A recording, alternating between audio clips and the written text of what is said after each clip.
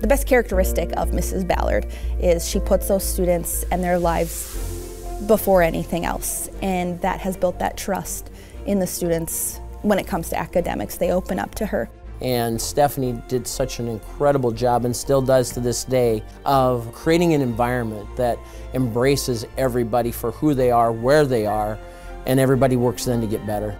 Seeing them rise to that occasion and see them take this huge risk and then be successful at it, it just, it means a lot to me and it really, it brings a lot of passion to my work. I think through her personal life and everything that she's been through, she sees all of the bigger picture in everything and she wants to impact the world in any way that she can.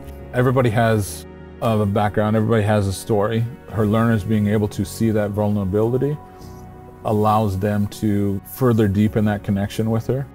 She had some life circumstances happen, some very life-changing life circumstances happen two years ago, my son passed away. I almost quit teaching.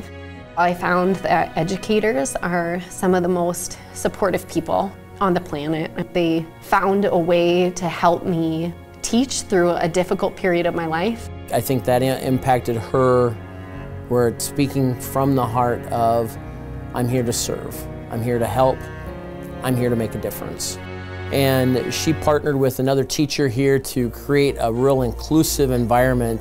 I am lucky that I get to co-teach in our inclusion classroom. We intermix our general education students and our special education students into one classroom.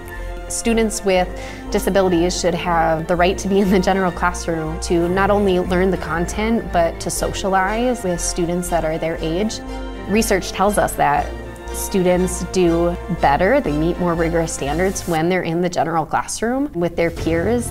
I also think it's more equitable for our general education students to be exposed to students that are different, for them to learn that not everybody thinks like me, not everybody has the same needs as me. I think it will help us build more empathetic communities that truly celebrate and care about diversity. She knows that addressing the needs of a diverse student population is important, so she is stepping out of her comfort zone because it matters to her students. She's inspired me that I can do math and help other people with math.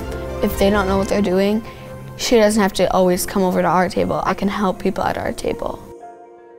Math was not my favorite subject, but it's definitely one of my favorite subjects now. She was really creative on how to make this material and put it into the real world. Um, this project is called That Costs What? These are actual orders from the Pheasant restaurant. She like tries to make everyone feel equal and that no one's above or below. It's more than a job and it's a calling. It's something that I believe that could make a difference for a family, for a young person, for a community as a whole for years and generations to come. She has the attitude of just being there every day. She loves what she does and I hope she continues to do what she does because it's amazing.